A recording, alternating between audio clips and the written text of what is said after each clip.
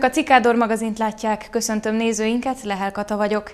Nézzük, mit kínálunk mai adásunkban. Top plusz forrásból újítanák fel Bátaszék konyháját. Festménykiállítás nyílt a Petőfi Sándor művelődési házban. A szépkorúakról sem feledkeztek meg. Felgyúltak a karácsonyfényei Bátaszéken.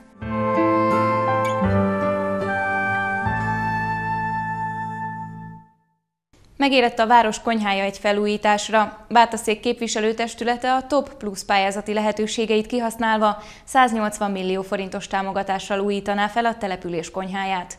A tendert március 31-éig kell beadnia az önkormányzatnak. Bozsolik Robert a település polgármestere elmondta, nyár elején megkaphatják a pályázat eredményét, és ha nyertek, akkor 2023 nyarán átadhatják a korszerűsített főzőhelyiséget.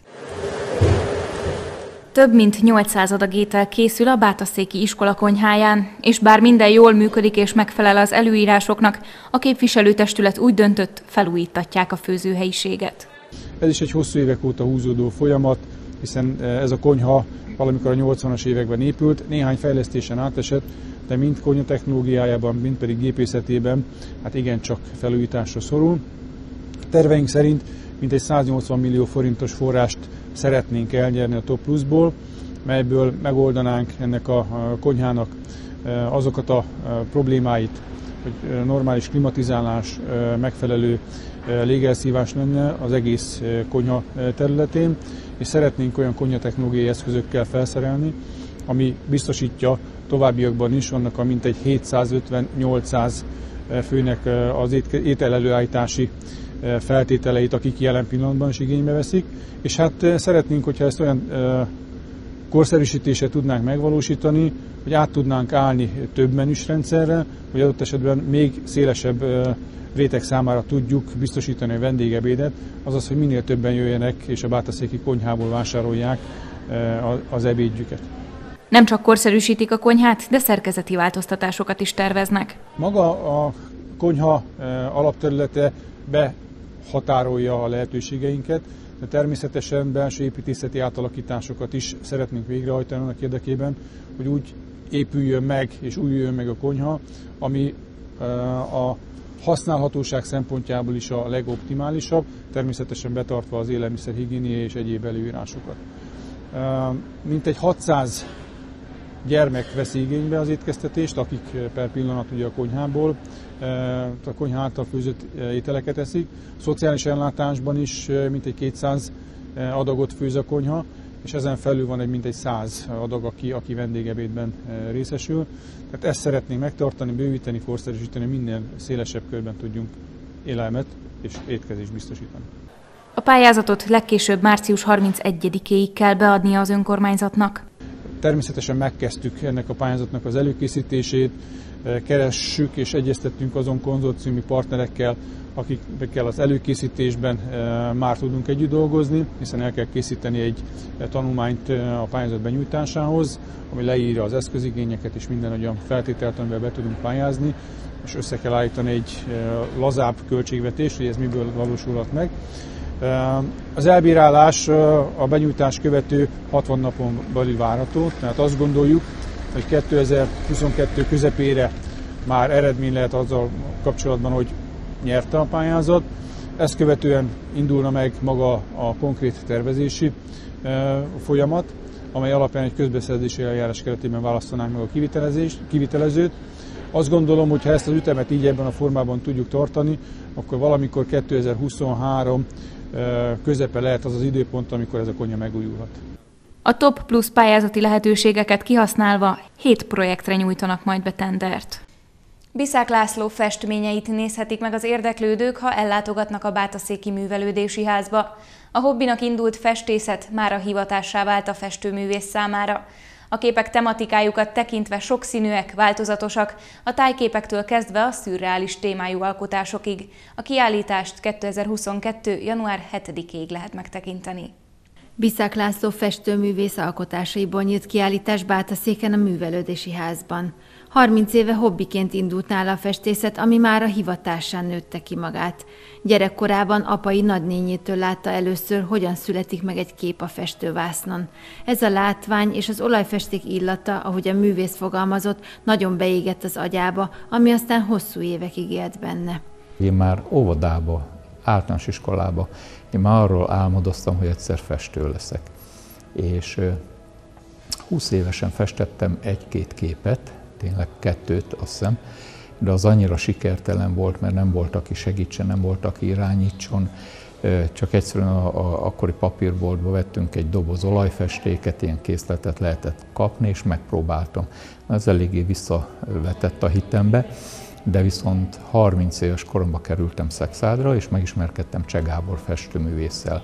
És hát felkuncsorogtam magam a műtermébe, és akkor néztem, ahogy dolgozik, és mondtam, hogy Gábor, én is szeretnék festeni, hogy, hogy segíts ebbe, és ő hozta az első festékeket nekem Pestről, a művészellátóból, mert akkor még így nem lehetett kapni, és gyakorlatilag akkor indult el valami 30 évese, de akkor még nagyon hobbi volt. Akkor még dolgoztam, gyerekeim kicsik voltak, tehát a család a munka volt az első, és 2000-ben jött az életembe egy olyan változás, ami lehetővé tette, hogy onnantól fogva szinte csak ezt csináljam, és hát ezt csinálom. Tehát az, azóta ö, nem kanyarodtam el, csak ezzel foglalkozom, és egyre, egyre mélyebben mászok bele. Isten igazából a táborok voltak nekem az iskolák. Táborokba festettem, nemzetközi táborokba, törökökkel, németekkel, horvátokkal, szerbekkel, bejártam Erdélytől kezdve Isztambulig mindenfele voltam, és ezt mind-mind a, a festészetnek köszönhetem. A nagyokkal tudtam festeni, hogy kint professzorok, meg ilyen, tehát ö, én szerintem közelükbe sem mehettem volna táborokon kívül, de hát így jó barátságok születtek, meg meghívtuk egymást kölcsönösen, úgyhogy ez az én iskolám. Az Alföld sivártájai, a Gemenci erdő fái, árterei mind nagy hatással voltak rá, ezeket az élményeket és látványokat vitte vászonra a kezdeti időkben, majd az évek előre haladtával kezdett más típusú és témájú képeket is festeni. A kiállításon megtekinthető egy különleges technikával készült festmény is, aminek az elkészítését személyes élmények is inspirálták. Ez egy vegyes technikával készült kép, Két-három évvel ezelőtt volt nálam a, egy forgatóstáb, egy angol felkérést teljesítettek, alkotókat kerestek meg, és felvették a munka folyamatát, és azt hiszem mai napig meg lehet nézni valahol a neten, ilyen három-három és fél perces felgyorsított változatba. És gyakorlatilag ezt a kamerák kellett, előtt kellett megcsinálni, és ez azért is kedves nekem, mert hát én Gyulán születtem, ott nőttem föl, és készültem ennek a képnek a, az elkészítésére, és direkt gyulai újságokat kerestem, és ráadásul még a stábból, aki jött hölgy, a producer, az is Gyulai volt a Szigeti Fanni, és hát engedélyt kértem tőle, hogy esetleg munka közben az ő fotóiból használhatnék-e valamit, és nagyon örült neki, és gyakorlatilag ő Szigeti Fanni, ez pedig gyulai képek. Ez a szobor itt, ez a orosz emlékmű, és ez az utcánk sarkán volt, úgyhogy én gyerekkoromban ide jártam koszorúzni minden, és akkor innen szöktem mindig haza. Nem kellett megvárjam a végét, visszamenni az iskolába, és ez egy ilyen vegyes technikával készült, amit lehet, vagy érdemes tudni róla még, hogy ez újságot, tehát anyagot önmagában nem hordoz, hanem ez úgy történik, hogy egy bizonyos anyaggal fel van ragasztva az újság vagy a fotó a faroslemezre, és utána az le van mosva, hogy gyakorlatilag csak a nyomdai anyagot tartalmazza a festéket. Tehát nem megy tönkre, látványos, és utána lehet így öregíteni, belefesteni. Ha nem sikerül, újra lehet csinálni egy jó alapozás, és újra lehet próbálni. Tehát, és, és szerintem egy érdekes dolog. A festményeiben több stílus és technika fedezhető fel. Nem kötelezte el magát egyetlen irányzat mellett sem, és pont ez miatt sokszínűek a képei. A kiállításon a tájképek, csendélet és az állatokról készült alkotások között megtalálhatunk szürreálisabb hangvételű festményeket is. Legtöbb munkához van egy történet vagy egy vízió, ami előidézi az alkotások megszületését, mondta Ebiszák László. Akkor az ember alkot, akkor, akkor egy ilyen, sokszor egy ilyen önkívületi idézőjelben mondom, önkívületi állapotba kerül egy ilyen eufóliás hangulatomban, és mikor kész van egy kép, akkor az olyan, mint egy lelki orgazmus. Tehát egy, egy nagyszerű érzés alkotni, létrehozni valamit, megcsinálni valamit, és ez a, én embereket szerettem volna itt ábrázolni a térbe és, és egy ilyen, ez egy ilyen vízió, hogy a boldogsághoz vezető út, és azok az emberek, amik már ott felemelkednek, azok már be az eufóliás hangulatban vannak, állapotban, és, és én is ezt éltem át a kép alkotása közben. A kiállítást 2022. január 7-ig lehet megtekinteni a Bátaszéki Művelődési Házban. Készülnek azok az ajándékcsomagok, melyekkel az időseknek és a rászorulóknak nyújt majd segítséget a város. A szervezők nem feledkeztek meg a szépkorúakról, és bár idén sem lehet a pandémia miatt közös karácsonyi összejövetelt rendezni, a lehetőségekhez mérten megemlékezik Bátaszék az idősekről. Készülnek az ajándékcsomagok a Petőfi Sándor Művelődési Házban. Bátaszéken hagyomány már, hogy minden esztendőben a város külön kedveskedik a rászorulóknak és a szépkorúaknak. A most összeállítás alatt álló ajándékok a 70 és 90 év felettiek karácsonyfája alá kerülhetnek majd. Ebben az évben december 17-én tartottuk volna a 70 éven felüliek karácsonyváró ünnepségét a sportcsarnokban Bátaszéken, viszont ahogy az előző esztendőben is, úgy idén is meg kellett hoznunk sajnos a pandémia miatt azt a döntést, hogy hát a világjárványra való hivatkozással nem tartjuk meg, mert ennél mi jobban szeretnénk vigyázni az időseinkre, hiszen 70 éven felüli pátaszéki polgárokról van szó, és minden évben 400 körüli Körülbelül 400 fő szokott ezen részt venni. Egy rövid kis műsorral kerveskedünk nekik, és mindig kapnak tőlünk valamilyen ajándékot. Aztán ott a sportcsarnokban egy kis beszélgetést, vacsorát, eszegetést, iddogálást követően mindenki elmegy haza, és természetesen a családjával, amennyiben teheti, tölti a karácsonyt. Ebben az évben is máshogy lesz ez, viszont mi minden Bátaszéken érő 70 éven felülinek szeretnénk kedveskedni egy kis ajándékkal. Ezeket csomagoljuk most, és még pluszban el kell mondanom, hogy az önkormányzat jóvoltából plusz ajándékozásra is lesz lehetőség, hiszen a városban él több mint 60 fő, 90 éven felüli bátaszéki polgár, nekik az önkormányzat külön még egy kis plusz ajándékkal kedveskedik. A csomagokba kerülő kedvességeket a városban segítő önkéntések segítségével juttatják majd el az érintettekhez. A következő héten az önkénteseink, a munkatársaink és a Bátaszéki második Géza gimnázium diákjainak a jóvoltából és segítségével minden postalánába eljut ez a 70 éven felülieket köszöntő kis karácsonyi ajándék. Az idősebbeknek szóló megemlékező csomagocskák mellett a város külön segítséggel is hozzájárul ahhoz, hogy ne kelljen senkinek nélkülözni az ünnepnapokon. Bátaszék város önkormányzata is elindított egy adománygyűjtő akciót, amelynek a keretein belül várják a fölajánlásokat, és a gondozási központtal karöltve, és együttműködve még karácsony előtt a rászoruló családok számára szeretnének eljuttatni élelmiszer csomagot, illetve olyan hasznos holmikat, akár játékokat vagy ruhaneműt, amelyeket ezek a családok nyilván tudnak használni, és, és, és jó néven veszik, hogyha kapnak ilyen támogatást. Úgyhogy a művelődési ház másik felében a gondozási központ munkatársai szorgoskodnak, akik az élelmiszereket, tartós élelmiszereket csomagolják, szortírozzák, válogatják, hiszen hogyha jól tudom, akkor 250-260 eh, csomagot fognak a héten elkészíteni, és szintén a saját munkatársaik és eh, jelentkező bátaszéki önkéntesek segítségével a jövő héten ezeket a csomagokat is eh, megkapják a segítségre szoruló bátaszékiek. Felgyúltak a karácsony fényei Bátaszéken is. A városban immár sokadik éve rendezték meg az adventi forgatagot, ami az ünnepekre való ráhangolódásra kínált alkalmat. Az eseményen Kürtösi Krisztián katolikus plébános és Fekete Zoltán református lelkész mondott áldást.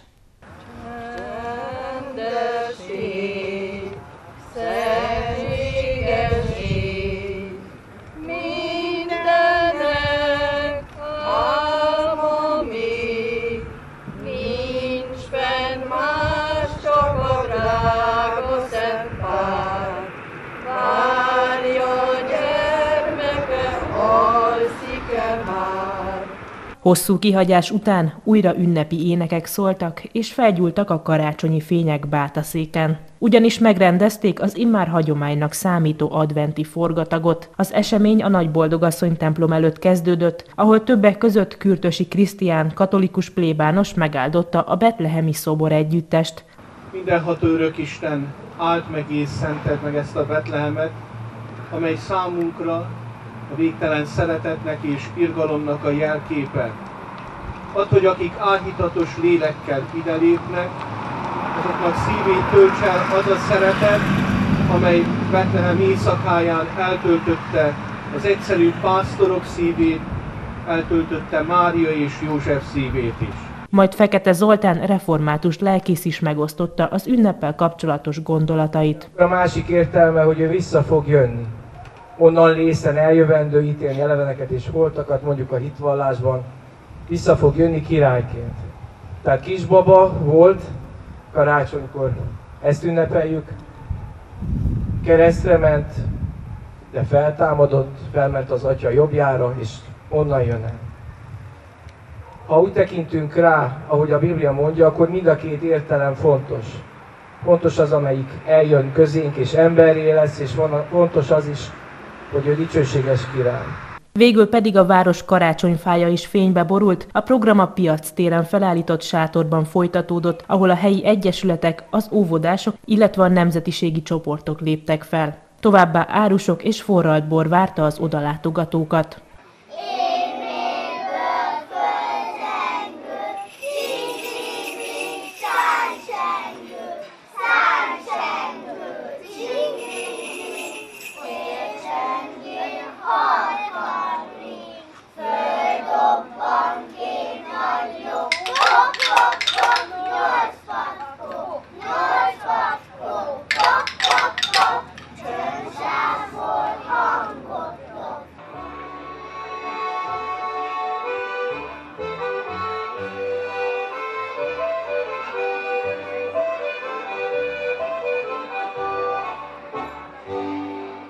Bozsolik Róbert polgármester szerint sok helyi családot megrázott az elmúlt időszak, ezért a program célja egyrészt az, hogy egy kicsit feltöltődjenek az emberek. Néhány évvel ezelőtt kezdtük el ennek a rendezvénynek a meghonosítását, azzal a célral, hogy advent időszakában tényleg együtt tudjunk ünnepelni. Bátaszék apja nagyja egy esemény kapcsán össze tudjon jönni, színpadi produkciók eh, zajlanak ilyenkor, természetesen hideg tej a forradbor, és hát az advent is a szeretet jegyében egy kis adományozási akció is van, hiszen az adventi vásár keretének belül befolyt bevétel az a gondozási központhoz kerül, akik rászorult családok ellátására, csomagjaira fogják ezt majd elkölteni. Advent ugye ez egy várakozási időszak. Most egy év kiadás után vagyunk itt, hiszen 2019-ben volt utoljára adventi forgatag, most is egy kicsit nehézkes volt megszervezni, nem tudtuk, hogy az egészségi helyzet majd mire ad lehetőséget. Az elmúlt két évben nagyon sok mindenen keresztül mentünk. Azt gondolom, nagyon sok családot megrázott ez a két éves időszak, akár lelkileg, akár anyagilag. Talán ez az advent időszak pont arra jó, hogy egy kicsit el tudjuk feledni mindazt a keserűséget, szomorúságot, ami ért bennünket az elmúlt években. Fel tudjunk töltődni szeretetből, és ennek hangulatában tudjuk megélni majd az ünnepeket.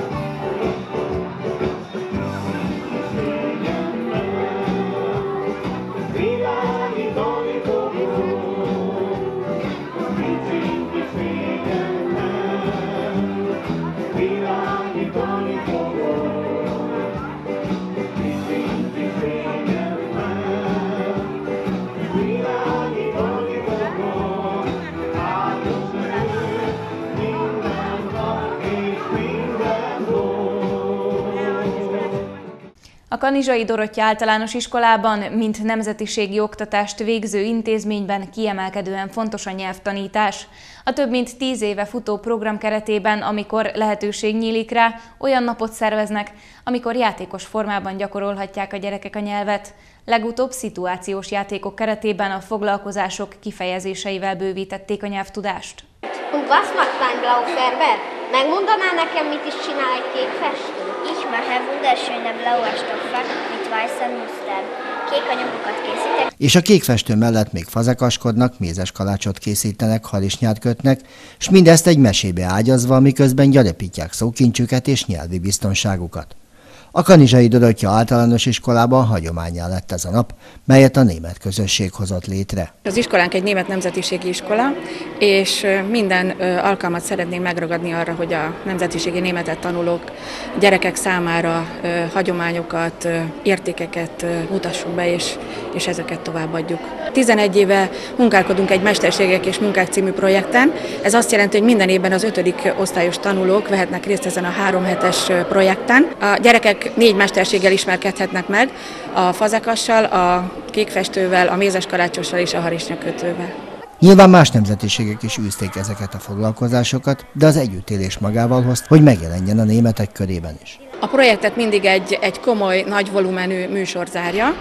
A kolléganőkkel együtt minden évben törekszünk arra, hogy valami újat találjunk ki. Az idei azt hiszem, hogy egy nagyon jó ötlet állt rendelkezésünkre egy mesét írtunk, a négy kívánság címmel, és ebbe a mesébe próbáltuk belecsempészni a négy mesterséget, és, és próbáltunk belőle valami nagyon érdekeset kihozni. Arról szól a mese, hogy egy parasztembert elkapnak a rablók, és négy ördög megmenti őt. Természetesen a négy ördög ezt nem ingyen teszi, hanem valamit majd követel az úrtól 20 év múlva, és a négy fia megmenti a parasztembert, elmegy, megtanulja ezt a négy mesterséget, és hát odaadja a, az ördögöknek a, a tükrös szívet, a kékfestőterítőt, a bütkös harisnyát, és azt a köcsögöt, amiben sohasem alszik meg a tej. Guten! Kann ich diese Hütte Milchhafen kaufen? Jó napot! Vehetnék magától egy olyan teljesítményt, amiben sohasem sem anyadik meg a fej? Bitte. Nein, er ist nicht zu verkaufen. Sei mein Lehrling, mach dir einen selber. Nem, ez nem eladó. Szegődj hozzám inasnak, tanuld meg a mesterség fortéjait, és hogyha jól dolgozol, készíthetsz magadnak egyet. A gyerekek nagyon élvezték a próba folyamatot, és kreatívak voltak például a kékfestő minták tervezésében is. Emellett egy képes szótárat is szerkesztettek. Kicsit másképpen tanulták tehát a nyelvet, mint egy tanteremben ülve. Közben pedig észrevétlenül a hagyományokat is elsajátították. Most pedig megtudhatjuk, milyen egy jó mézes kalács. Az a titka, hogy sok mézet rakunk bele, és attól nagyon finom lesz, és ha rakunk bele egy icipici fahéjat, és összegyúrjuk lisztet, tojást. Ez, és akkor ugye vannak ezek a díszítő formák, meg ö, vannak azok a kinyomók, uh-huh. amiben rakunk ilyen tojásos, ö, cukros ilyen habot, uh-huh. És ezt felkeverjük, és rakunk bele ételfestéket, és akkor kinyomjuk a mézes kalácsra. Én nagyon élveztem, még egy, egy előadáson voltam, szerepeltem, az is ilyen adventi volt, és ugye ez a második, és én nagyon élvezem ezeket, hogy együtt van az osztály, meg a barátaink, meg a múlt évi osztályfőnökeink is velünk vannak. És ha még nem lett volna elég az édességből a mézes kaláccsal, itt van mindenki kedvence, a kakasos nyalóka. Vannak ezek a minták, a kakas, nyúl, a pipa, meg stb. stb. És van az a forrad cukor, ami hogyha úgy törik, mint a gyengébb üveg, a gyenge üveg, a, a, az a, az, arra be kell tenni egy kis, itt teszünk két csepp is elég, akkor is jó piros lesz, és azokat be kell önteni ezekbe a formákba, és berekni egy ilyen kis fapácikát, és várni kell, hogy megkeményedjen, utána megtörölgetni. És kész a kakasos nyalóka.